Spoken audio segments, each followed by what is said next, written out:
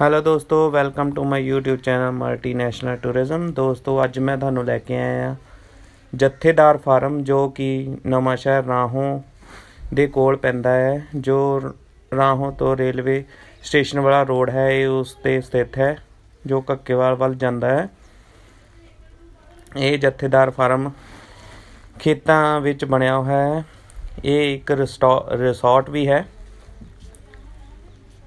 ਇਹ ਦੇਖ ਸਕਦੇ ਹੋ।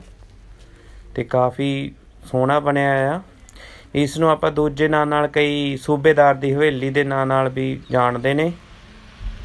ਤੇ ਉਹ ਸਾਹਮਣੇ ਬਣਾਇਆ ਕਿਲਾ ਬਹਾਦਰਗੜ੍ਹ। ਦੋਸਤੋ, ਇੱਥੇ ਦੀ ਟਿਕਟ ਹੈ, ਜੋ ਵੀ ਹੈ, ਇੱਥੇ ਦੇਖਣ ਦੀ ਜਾਂ ਘੁੰਮਣ ਦੀ, ਉਹ 20 ਰੁਪੀਸ ਹੈ। ਤੇ ਇਹ ਕੰਟੀਨ ਹੈ, ਇੱਥੋਂ ਤੁਸੀਂ ਟਿਕਟ ਲੈ ਸਕਦੇ ਹੋ। ਦੋਸਤੋ, ਇਸ ਵੀਡੀਓ ਨੂੰ ਦੇਖਣ ਦੇ ਨਾਲ ਨਾਲ ਤੁਸੀਂ ਮੇਰੇ ਚੈਨਲ ਨੂੰ ਸਬਸਕ੍ਰਾਈਬ ਜ਼ਰੂਰ ਕਰ ਲਓ ਤੇ ਨਾਲ ਲੱਗਦੇ ਬੈਲ ਨੋਟੀਫਿਕੇਸ਼ਨ ਨੂੰ ਵੀ ਔਨ ਕਰ ਦਿਓ ਤਾਂ ਜੋ ਮੇਰੀਆਂ ਆਉਣ ਵਾਲੀਆਂ ਵੀਡੀਓ ਦਾ ਤੁਹਾਨੂੰ ਨੋਟੀਫਿਕੇਸ਼ਨ ਸਭ ਤੋਂ ਪਹਿਲਾਂ ਮਿਲ ਸਕੇ। ਦੋਸਤੋ, ਇਹ ਜਥੇਦਾਰ ਫਾਰਮ ਦੀ ਪਾਰਕਿੰਗ ਹੈ। ਇੱਥੇ ਬੱਚਿਆਂ ਵਾਸਤੇ ਇਹ ਝੂਲੇ ਵੀ ਲੱਗੇ ਹੋਏ ਨੇ। ਤੇ ਇਸ ਇੱਥੇ ਦੀ ਖਾਸ ਗੱਲ ਇਹ ਹੈ ਕਿ ਇੱਥੇ ਸਵੀਮਿੰਗ ਪੂਲ ਵੀ ਬਣੇ ਹੋਏ ਨੇ। ਤੇ ਉਹਨਾਂ ਦੀ ਟਿਕਟ 100 ਰੁਪਿਆ ਪਰ ਪਰਸਨ ਹੈ।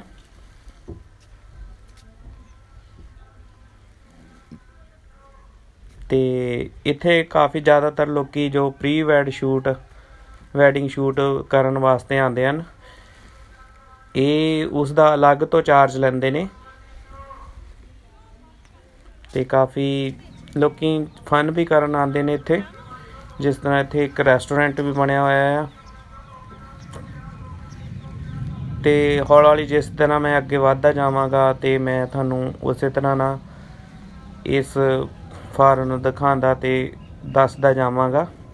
ਇਹ ਜੋ ਪਾਰਕ ਬਣੀ ਹੋਈ ਹੈ ਬੱਚਿਆਂ ਵਾਸਤੇ। ਇਹ ਝੂਲੇ ਲੱਗੇ ਨੇ ਤੇ ਪਿੰਗਾਂ ਵੀ ਲੱਗੀਆਂ ਹੋਈਆਂ ਨੇ ਇੱਥੇ।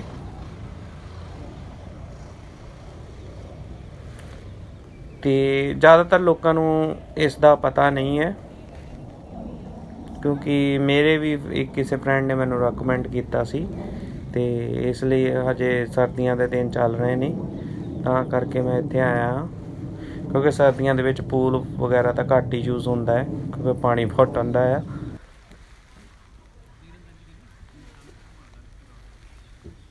ਤੇ ਉਦਾਂ ਤੁਸੀਂ ਇੱਥੇ ਸਿੰਪਲ ਵੀਡੀਓ ਸ਼ੂਟਿੰਗ ਕਰ ਸਕਦੇ ਆ ਤੇ ਜੇ ਤੁਸੀਂ ਪ੍ਰੀ ਵੈਡਿੰਗ ਸ਼ੂਟ ਵਗੈਰਾ ਕਰਨਾ ਆ ਤਾਂ ਉਸ ਦਾ ਇਹ ਅਲੱਗ ਤੋਂ ਚਾਰਜ ਲੈਂਦੇ ਨੇ।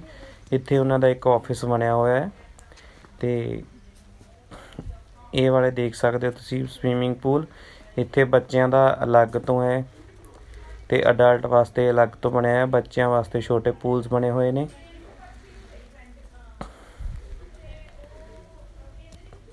ਤੇ ਦੇਖ ਸਕਦੇ ਹੋ ਜੋ ਮੈਂ ਤੁਹਾਨੂੰ ਦੱਸਿਆ ਸੀ ਕਿ ਕਿਲਾ ਬਹਾਦਰਗੜ੍ਹ। ਇਹ ਕਾਫੀ ਇੱਕ ਕਿਲੇ ਦੀ ਤਰ੍ਹਾਂ ਦੀ ਲੁੱਕ ਦਿੱਤੀ ਹੋਈ ਹੈ।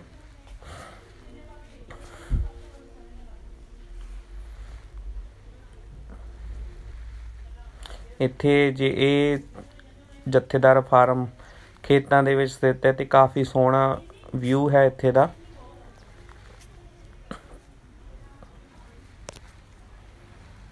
ਇਹ ਦੇਖ ਸਕਦੇ ਹੋ ਇਹਨਾਂ ਦਾ ਆਫਿਸ ਹੈ। ਤੇ ਇੱਥੇ ਪਾਰਟੀ ਅਤੇ ਵਿਆਹ ਸ਼ਾਦੀ ਲਈ ਵੀ ਪ੍ਰੋਗਰਾਮ ਅਰੇਂਜ ਹੋ ਜਾਂਦੇ ਨੇ।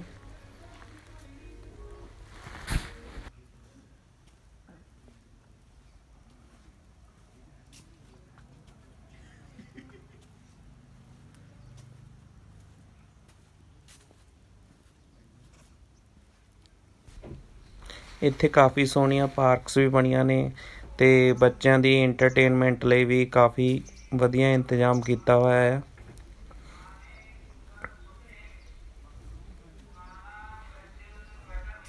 ਨੇ ਹੁਣ ਤਾਂ ਥੋੜਾ ਕਾਫੀ ক্লোਜ਼ ਕੀਤਾ ਹੋਇਆ ਹੈ, ਜਿਸ ਤਰ੍ਹਾਂ ਇੱਥੇ ਤੀਰ ਕਮਾਨੀ ਘੋੜਾ ਸਵਾਰੀ ਵੀ ਚੱਲਦੀ ਸੀ, ਕਿਉਂਕਿ ਸਰਦੀਆਂ ਦੇ ਦਿਨ ਹੋਣ ਕਰਕੇ ਕਾਫੀ ਬੰਦ ਹੈ। ਇਹ ਦੇਖਦੇ ਹੋ ਕਾਫੀ ਲੋਕੀ ਇੱਥੇ ਪ੍ਰੀ ਵੈਡ ਸ਼ੂਟ ਕਰਨ ਆਏ ਨੇ।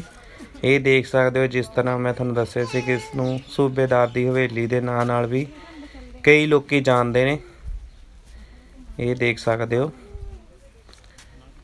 ਸੂਬੇਦਾਰ ਦੀ ਹਵੇਲੀ।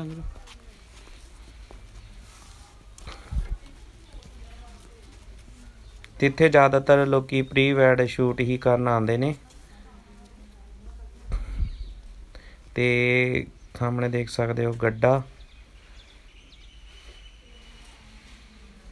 ਤੇ ਸਾਹਮਣੇ ਜੋ ਖੂਹ ਬਣਾਇਆ ਹੈ ਅਸਲੀ ਦੀ ਤਰ੍ਹਾਂ ਬਣਿਆ ਹੈ ਤੇ ਇਸ ਚ ਟਿੰਡਾਂ ਲੱਗੀਆਂ ਨੇ ਇਸ ਨੂੰ ਘੁਮਾਉਣ ਤੇ ਇਹ ਪਾਣੀ ਵੀ ਬਾਹਰ ਆਂਦਾ ਹੈ। ਇਸ ਖੂਹ ਦੇ ਵਿੱਚੋਂ ਛੋਟਾ ਜਿਹਾ ਹੀ ਹੈ ਆਰਟੀਫੀਸ਼ੀਅਲ ਬਣਾਇਆ ਹੋਇਆ ਹੈ। ਤੇ ਇਸ ਨੂੰ ਘੁਮਾਉਣ ਤੇ ਜੋ ਨੀਚੇ ਪਾਣੀ ਖੜਿਆ ਹੈ, ਉਹ ਬਾਹਰ ਆਂਦਾ ਆ ਟਿੰਡਾਂ ਦੇ ਰਾਹੀਂ। ਤੇ ਦੇਖ ਸਕਦੇ ਸੂਬੇਦਾਰ ਦੀ ਹਵੇਲੀ, ਜੋ ਕਿ ਪੁਰਾਣੇ ਕਲਚਰ ਨੂੰ ਦਰਸਾਉਂਦਾ ਹੈ। ਜਿਸ ਤਰ੍ਹਾਂ ਆਪਣੇ ਪੁਰਾਣੇ ਜੋ ਕੱਚੇ ਮਕਾਨ ਹੁੰਦੇ ਸਨ ਉਸੇ ਤਰ੍ਹਾਂ ਬਣਾਇਆ ਹੋਇਆ ਹੈ। ਇਹ ਸੂਬੇਦਾਰ ਦੀ ਹਵੇਲੀ ਵਿੱਚ ਜਿਸ ਤਰ੍ਹਾਂ ਜੋ ਸਾਡਾ ਪੁਰਾਣਾ ਕਲਚਰ ਸੀ ਉਸ ਨੂੰ ਪੇਸ਼ ਕੀਤਾ ਆ। ਜੋ ਮਿੱਟੀ ਦੇ ਮਕਾਨ ਹੁੰਦੇ ਸਨ। ਇਹ ਦੇਖ ਸਕਦੇ ਹੋ। ਹਵੇ ਥੋੜਾ ਬਹੁਤਾ ਇਸ ਦੇ ਵਿੱਚ ਕੰਮ ਚੱਲ ਰਿਹਾ ਆ। ਤੇ ਹੁਣ ਮੈਂ ਤੁਹਾਨੂੰ ਥੋੜਾ ਜਿਹਾ ਉੱਪਰਲੇ ਪਾਸਿਓਂ ਵੀ ਇਸ ਦਾ ਵਿਊ ਦਿਖਾ ਦਿੰਨਾ ਆ। ਇਹ ਕਾਫੀ ਡੇਂਜਰਸ ਪੌੜੀਆਂ ਲੱਗ ਰਹੀਆਂ ਨੇ ਕਿਉਂਕਿ ਹਾਲਤ ਵਾਲੇ ਕੋਈ ਵੀ ਸਪੋਰਟ ਨਹੀਂ ਹੈ। ਇਹ ਦੇਖ ਸਕਦੇ ਹੋ ਉੱਪਰ ਦੇ ਪਾਸਿਓਂ ਵਿਊ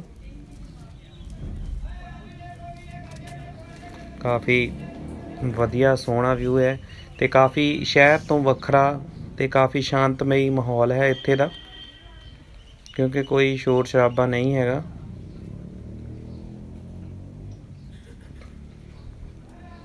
ਇਹ ਦੇਖ ਸਕਦੇ ਹੋ ਤੁਸੀਂ, ਜਥੇਦਾਰ ਫਾਰਮ ਤੇ ਰਿਸੋਰਟਸ ਇਹ ਖੂਹ ਜੋ ਮੈਂ ਤੁਹਾਨੂੰ ਨੀਚੇ ਦਿਖਾਇਆ ਸੀ, ਇਹ ਦੇਖ ਸਕਦੇ ਹੋ ਦੋਨੋਂ ਪੂਲਸ ਦਿਖ ਰਹੇ ਨੇ ਤਿੰਨੋਂ। ਇਹ ਤੁਸੀਂ ਉੱਪਰੋਂ ਤਿੰਨੋਂ ਪੂਲਸ ਦੇ ਵਿਊਜ਼ ਦੇਖ ਸਕਦੇ ਹੋ। ਇਹ ਤਿੰਨੋਂ ਸਵੀਮਿੰਗ ਪੂਲ ਨੇ ਤੇ ਉੱਪਰੋਂ ਕਾਫੀ ਸੋਹਣਾ ਵਿਊ ਦਿਸ ਰਿਹਾ ਹੈ ਤੇ ਸਾਹਮਣੇ ਰੈਸਟੋਰੈਂਟ ਹੈ ਤੇ ਕਾਫੀ ਵੱਡੀ ਪਾਰਕ ਹੈ ਜੋ ਕਿ ਸੂਬੇਦਾਰ ਦੀ ਹਵੇਲੀ ਦੇ ਸਾਹਮਣੇ ਕਾਫੀ ਵੱਡੀ ਪਾਰਕ ਬਣੀ ਹੋਈ ਹੈ।